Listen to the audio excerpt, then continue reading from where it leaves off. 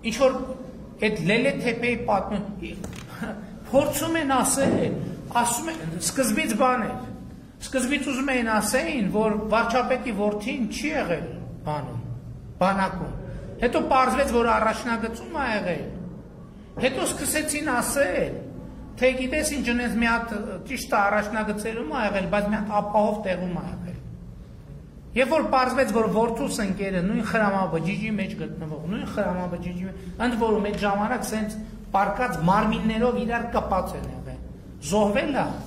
Հասկանում եք, ժողովուրդ չի կար այդ ականը, այդ արկը որոշեր, որ զոհվողը այդ երկու տղաներից պետքա լինի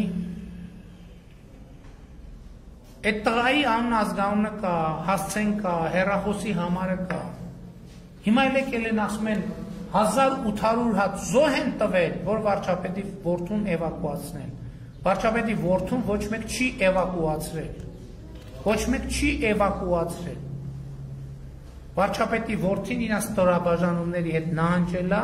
եւ ինչպես ուրիշները նույն կերպել այլք։ Այստեղ ուրիշ մանրամասներ էլ կան, որ ես հիմա հարկ չեմ համարում նշեմ։